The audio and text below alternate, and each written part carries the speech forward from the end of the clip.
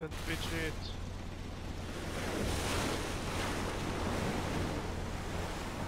The waves will cover the sound of our engine.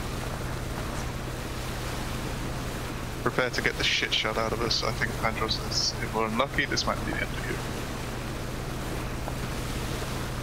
you. Nah, I will be fine.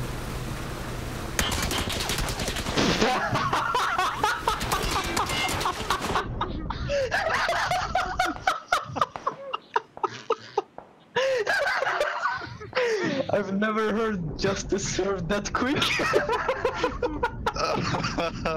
I hate being right, but uh, I think we should have stood at the end of the bridge and shot them.